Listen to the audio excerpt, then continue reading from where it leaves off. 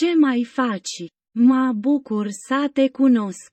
Subiectul de azi este captivitatea babiloniană a izraeliților, capitolul 1. Autorul este Abraham Park. Istoria captivității babiloniene și a întoarcerii a treia perioadă a genealogiei lui Isus Hristos consemnează 14 generații de la deportarea în Babilon până la venirea lui Isus Hristos. Cele mai importante evenimente care au avut loc în această perioadă sunt deportarea lui Iuda în Babilon și întoarcerea lor. Dumnezeu a văzut că păcatele împărăției de sud a lui Iuda devenind răspândite în Ierusalim și în tot Iuda. În Biblie, 2 Cronici, capitolul 36, este scris după cum urmează. Cu toate acestea, Dumnezeu a purtat cu ei mulți ani și i-a certat și i-a îndemnat solemn, trezindu-se zilnic de vreme și trimițând din nou și din nou mulți profeți. Poporul încăpățânat al lui Israel, însă, a refuzat să asculte până la sfârșit, iar când păcatele lor și-au atins plinătatea dincolo de punctul de cotitură, Dumnezeu i-a condamnat să fie pedepsiți prin captivitatea babiloniană. Regatul de sud al lui Iuda a fost deportat în Babilon în trei ocazii separate, primul în 605 înainte de Hristos, al doilea în 597 înainte de Hristos și al treilea în 586 înainte de Hristos. Cu toate acestea, în conformitate cu promisiunea sa de a le permite să se întoarcă după 70 de ani, Dumnezeu i-a răscolit inima lui Cirus, regele Persiei. Astfel încât a făcut o proclamație pentru a elibera poporul din robie. Aceasta arată că Dumnezeu nu-și va părăsi niciodată poporul odată ce i-a ales. El îi va purifica și rafina prin pedepse precum captivitatea, după care îi va ridica și îi va folosi din nou. Regatul sudic al lui Iuda s-a întors din robia babiloniană în trei ocazii diferite. Prima întoarcere în 537 înainte de Hristos, a doua în 458 înainte de Hristos și a treia în 444 înainte de Hristos. Izraeliți care s-au întors din captivitate au finalizat reconstrucția templului în 516 înainte de Hristos și reconstrucția zidurilor orașului în 444 h.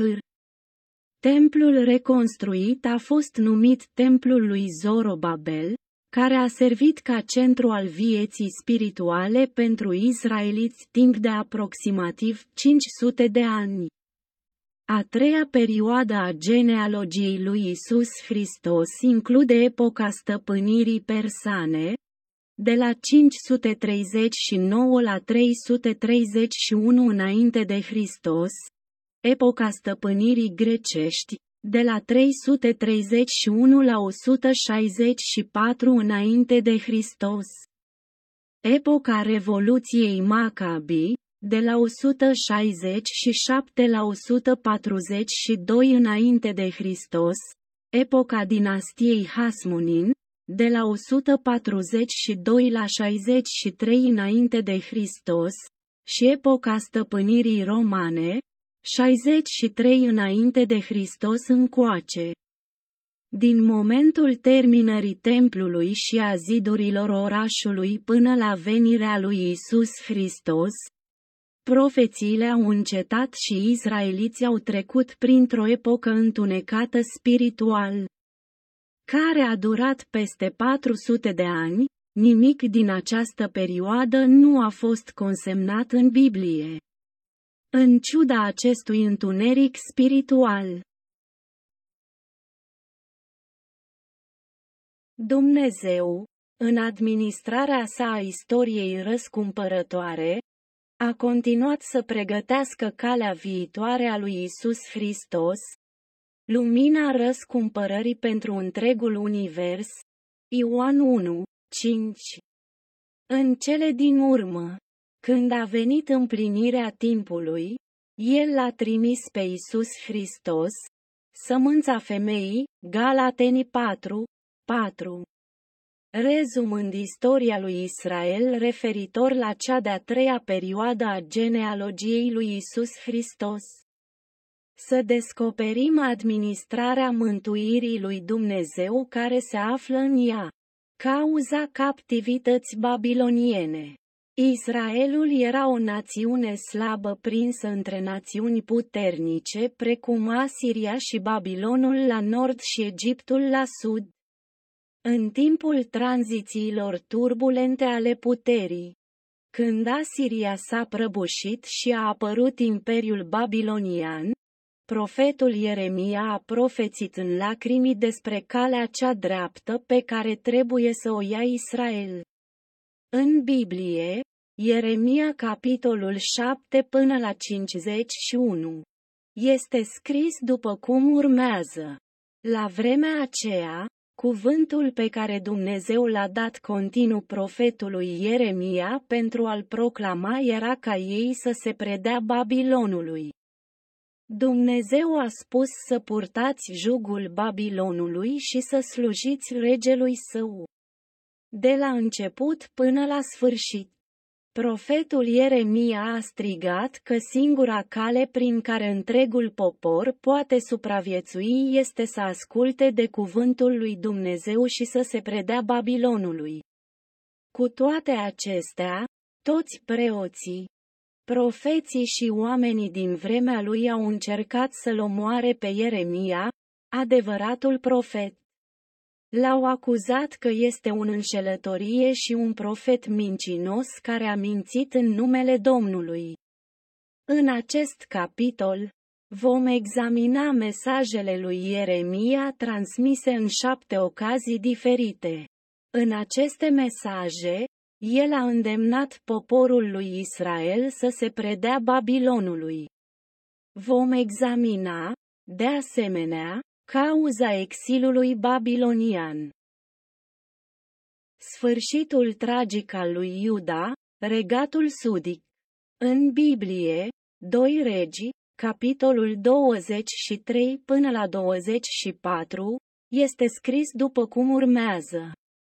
Când faraonul Neco al Egiptului l-a ucis pe regele Iosia la Megiddo, Poporul lui Iuda l-a întronat pe al treilea fiu al lui Iosia, Shalum, Ioahaz, de la 609 la 608 înainte de Hristos. Când împărăția slăbită a lui Iuda l-a întronat pe Ioahaz fără permisiunea faraonului Neco al Ilea al Egiptului. El l-a deportat pe nou încoronat rege în Egipt și l-a întronat pe al doilea fiu al lui Iosia, Ioachim, din 608 până în 597 înainte de Hristos, în locul lui Ioahaz. Sub stăpânirea opresivă a Egiptului asupra zonei palestiniene în acele zile, Ioachim nu a avut de ales decât să susțină politicile pro-egiptene. Cu toate acestea, când Egiptul a fost învins în bătălia de la Carchiemiș, 605 înainte de Hristos, și Babilonul a devenit puterea dominantă în regiune. Regele Ioachim a devenit vasalul Babilonului și a trebuit să plătească tribut lui Nebucadnețar. Trei ani mai târziu, a văzut că Egiptul s-a apărat cu succes împotriva invaziilor babiloniene. Drept urmare, Ioachim a încetat să plătească tribut Babilonului și a sprijinit din nou Egiptul. Apoi, Regele Nebucadnețar al Babilonului și-a regăsit armata și le-a trimis la Ierusalim, 602 înainte de Hristos. În 597 înainte de Hristos, Nabucodonosor a trimis un al doilea grup de forțe caldin să asedieze Ierusalimul. Ioachim a fost ucis în timp ce aștepta ajutor din partea Egiptului și a fost aruncat în afară porții Ierusalimului. Când a murit Ioachim, fiul său Conia, Ioiacin, a urmat tronul, dar a fost dus captiv în Babilon după numai trei luni și zece zile. Atunci Nabucodonosor l-a tronat pe Matania, Zedechia, celălalt fiu al lui Iosia și unchiul lui Ioiacin. La scurt timp după ce și-a început domnia, regele Zedechia a neascultat de cuvântul lui Dumnezeu și nu s-a predat Babilonului. În schimb, s-a răzvrătit împotriva Babilonului și a implementat politici pro-egiptene. Drept urmare, Nebucadnețar a invadat din nou în al nouălea an al domniei lui Zedechia.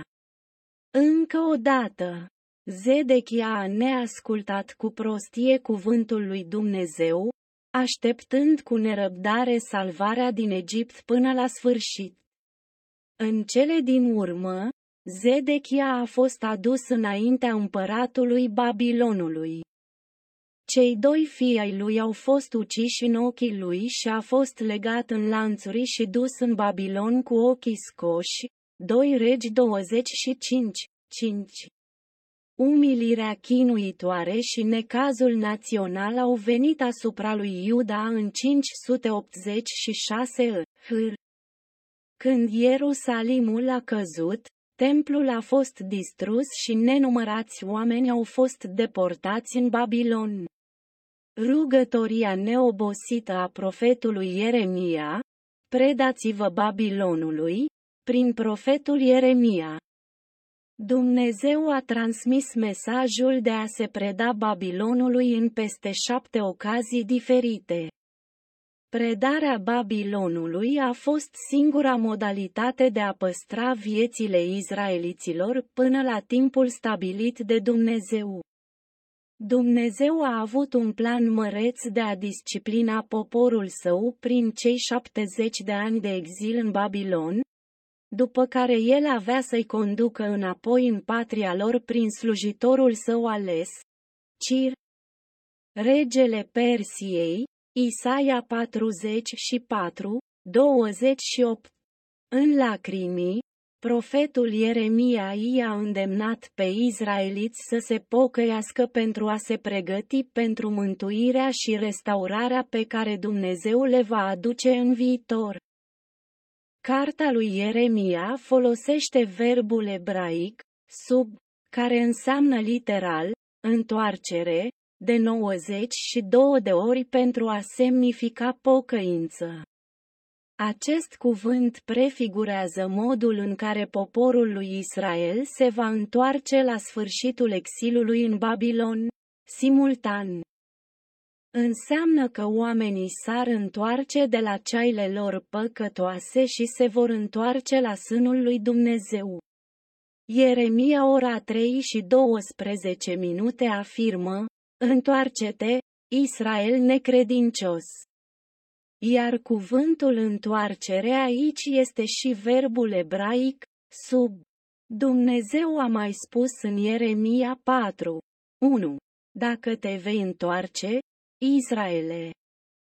Ceea ce înseamnă că va exista întotdeauna o cale către mântuire chiar și în circunstanțe dificile, atâta timp cât poporul său se întoarce la Dumnezeu. Dumnezeu a subliniat în Ieremia ora 2 și 19 minute. Este rău și amar să părăsești pe Domnul, Dumnezeul tău, și frica de mine nu este în tine. Atâta timp cât oamenii se vor întoarce din ceaile lor răzvrătite. Dumnezeu le va spăla păcatele și le va permite să se întoarcă din exilul lor în Babilon. Astfel, Dumnezeu le-a spus în mod repetat, de șapte ori, că trebuie să se predea Babilonului. 608 înainte de Hristos, cu trei ani înainte de prima deportare. În 608 înainte de Hristos, nu mult după înscăunarea lui Ioachim, fiul lui Iosia, regele lui Iuda. Dumnezeu a spus, se va întâmpla că națiunea sau împărăția care nu-i va sluji, Nebucadnețar, regele Babilonului, și care nu își va pune gâtul sub jugul împăratului Babilonului, voi pedepsi neamul acela cu sabia, cu foametea și cu ciuma, până îl voi nimici prin mâna lui. Dumnezeu a mai spus în Ieremia 27, 17, slujește împăratului Babilonului și trăiește. De ce să devină acest oraș o ruină? 605 înainte de Hristos, în vremea primei deportări. În timpul primei deportări din anul 605 înaintea lui Hristos, Dumnezeu a spus, Atunci când se vor împlini 70 de ani, voi pedepsi pe regele Babilonului și acea națiune, pentru nelegiuirea lor și țara caldeenilor, și o voi face pustire veșnică. Această afirmație implică faptul că Dumnezeu a decretat cei 70 de ani a exilului babilonian ca perioadă de pedepsă. Prin urmare, poporul lui Iuda a trebuit să-și țină gâtul sub jugul regelui Babilonului până la timpul rânduit de Dumnezeu. 597 înainte de Hristos, după a doua deportare. Profeția actuală că se vor întoarce în țara lor după ce vor sluji regelui Babilonului timp de 70 de ani, a fost dată în timpul primei și celei de-a doua deportării. În timpul celei de-a doua deportări din 597 înainte de Hristos, Dumnezeu a spus, când se vor împlini 70 de ani pentru Babilon, te voi vizita și voi împlini cuvântul meu cel bun pentru tine. Să te aduc înapoi în acest loc, după aceea, Dumnezeu i-a arătat profetului Ieremia două coșuri cu smochin așezate înaintea templului Domnului, prin pilda celor două coșuri cu smochin. El a prorocit că trebuie să se predea Babilonului. Primul dintre cele două coșuri avea smochin foarte bune, ca primele smochin coapte, s-au referit la evrei care au fost duși captivi în Babilon. Celălalt coș avea smochin rele care urmau să fie aruncate pentru că nu pot fi mâncate din cauza putrezici, se refereau la evrei care au rămas în Iuda sau la cei care locuiau în țara Egiptului. 593 înainte de Hristos, la patru ani după a doua deportare. La scurt timp după ce Zedechia a preluat tronul, al patrulea an de domnie al lui Zedechia. Dumnezeu a transmis din nou mesajul, predare în Babilon, prin profetul Ieremia. Pentru a transmite acest mesaj cu efect deplin, Dumnezeu i-a spus profetului Ieremia să-l facă pentru tine. Legături și juguri și pună-l pe gâtul tău. În plus, Dumnezeu i-a poruncit lui Ieremia să-i trimită la împăratul Edomului, la împăratul Moabului, la regele fiilor lui Amon la regele Tirului și la regele Sidonului prin mesagerii care veniseră la Ierusalim din fiecare dintre aceste națiuni. Dumnezeu nu numai că îi spusese lui Iuda să se predea Babilonului, dar a transmis și acest mesaj clar și națiunilor din jur. Acești mesageri erau trimiși speciali trimiși de fiecare dintre aceste națiuni special pentru a conspira o alianță antibabiloniană. Ei au fost la Ierusalim pentru a se întâlni cu Zedechia în acest scop. Faptul că s-au adunat la Ierusalim ne face să creadă că Zedechia ar fi fost conducătorul acestui efort conspirator. Totuși, Dumnezeu a spus clar, am dat toate aceste țări în mâna lui Nebucadnețar, regele Babilonului, slujitorul meu, și i-am dat și animalele sălbatice ale câmpului să-i slujească. Toate neamurile îi vor sluji lui și fiului său. Și nepotul său. El le-a spus în continuare, într-o manieră fără echivoc că această alianță pentru a sfida Babilonul a fost un exercițiu de inutilitate care va aduce sabia, foametea și ciumă.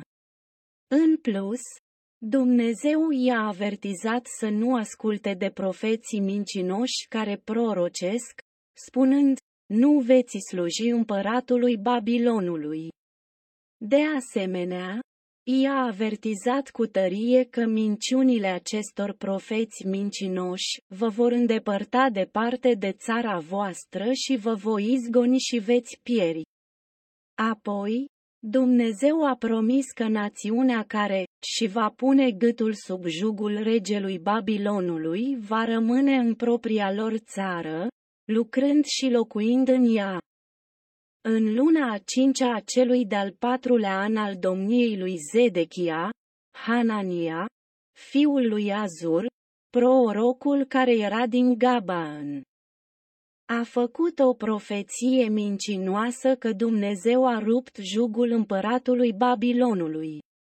Totuși, profetul Ieremia i-a pus pe gât un jug de lemn. O bară sau un cadru de lemn așezat pe capul sau gâtul animalelor de tracțiune de care este atașat un cărucior sau un plug pentru a trage, așa cum i-a poruncit Dumnezeu. Apoi a profețit cu acțiunile sale că cei care nu își pun gâtul sub jugul regelui Babilonului vor fi cu siguranță distruși. Jugul de lemn transmitea un mesaj că, deși va fi foarte greu, ei vor trăi numai dacă l-ar sluji pe regele Babilonului. Apoi, profetul mincinos Hanania a reacționat cu furie, luând jugul de lemn de la gâtul lui Ieremia și rupându-l. În vremea aceea, Dumnezeu i-a spus lui Hanania prin Ieremia, am pus un jug de fier pe gâtul tuturor acestor neamuri, ca să-i slujească lui Nebucadnețar, regele Babilonului. Dacă oamenii tocmai ar fi ascultat de cuvântul lui Dumnezeu de a purta jugul de lemn pe gât și de a se preda Babilonului, calamități irreversibile precum jugul de fier nu ar fi venit asupra lor. Ei ar fi trăit în speranță și pace. Totuși, pentru că nu au ascultat de cuvântul său, Ierusalimul a fost complet distrus și templul a fost ars cu foc. Oamenii s-au confruntat cu morți tragice de foamete, sabie și ciumă. Prorocul Hanania a murit și el în același an, în luna a șaptea, la două luni după ce a făcut profețiile false. 588 înainte de Hristos, aproximativ doi ani înainte de a treia deportare. Când Nabucodonosor al Babilonului a venit să atace pe Iuda, Zedechia i-a cerut lui Ieremia să se roage pentru ca Babilonul să se retragă. Ieremia a răspuns lui Zedechia, cel ce locuiește în această cetate va muri de sabie, de foamete și de ciumă, pradă. Profeții mincinoși l-au provocat pe Ieremia, argumentând că poporul lui Iuda nu va trebui niciodată să-și pună gâtul sub jugul lui Nebucadnețar, regele Babilonului, și să-i slujească. Totuși, profețiile lor nu au venit de la Dumnezeu, erau doar scheme umane. Într-adevăr, toată lumea și-a urat biruință și pace pentru Ierusalim. Cu toate acestea, din moment ce Dumnezeu își propusese deja să execute judecata lui asupra lui Israel pentru păcatele ei, supunerea planului lui Dumnezeu era calea către viață și către mântuire. 587 înainte de Hristos, un an înainte de a treia deportare. Când Ierusalimul era asediat de armata babiloniană în timpul domniei lui Zedechia, un capitan al gărzii al cărui nume era Iri, fiul lui Șelemia, fiul lui Hanania, l-a arestat pe profetul Ieremia. Irija a zis, vei trece la caldeeni. Și l-a adus la funcționari. Atunci oficialii l-au bătut pe Ieremia și l-au băgat în temniță. Adică în chilia boltită, după ce au trecut multe zile, Zedechia a trimis pe cineva să-l ia pe Ieremia și l-a întrebat, Este vreun cuvânt de la Domnul? Ieremia a dat același răspuns. Veți fi dat în mâna împăratului Babilonului. Apoi l-a rugat pe rege să nu-l facă să se întoarcă la închisoarea din casa cărturarului Ionatan. Iar Zedechia i-a permis lui Ieremia să rămână în curtea casei de gardă și să primească zilnic o pâine. După 586 înainte de Hristos, imediat după a treia deportare. Prin Ieremia, Dumnezeu a proorocit celor care au rămas în Iuda, să nu vă coborâți în Egipt și să nu vă temeți de împăratul Babilonului. Rămâi în țara ta, Canaan. Atunci Dumnezeu va fi cu tine și te va izbăvi de împăratul Babilonului. Dumnezeu le-a mai spus exilaților din Babilon, să-ți vină în minte Ierusalimul. Aceasta pentru că țara Babilonului avea să piară și să dispară în curând, dar țara Canaanului era țara pe care Dumnezeu a dat-o părinților lor în vecii vecilor. Autorul acestei cărți este Abraham Park. Abraham Park a fost un teolog apreciat de talie mondială, cu o spiritualitate pastorală remarcabilă. Și a dedicat întreaga viață rugăciunii și scripturilor. Citind Biblia de peste 1800 de ori, de-a lungul vieții sale de slujire, el a fost un adevărat pastor care a iubit biserica și congregația ca pe proprii săi copii. Programul lui zilnic consta în rugăciuni de două ore și citiri biblice de trei ore, precum și predicare și evangelizare continuă. Cu credința că a muri înseamnă a trăi, a făcut tot posibilul în viața de rugăciune către Dumnezeu timp de trei ani, șase luni și șapte zile în munții adâncii. Când soarele apunea, nu făcea decât să se roage. Când a răsărit soarele, nu a făcut altceva decât să citească Biblia.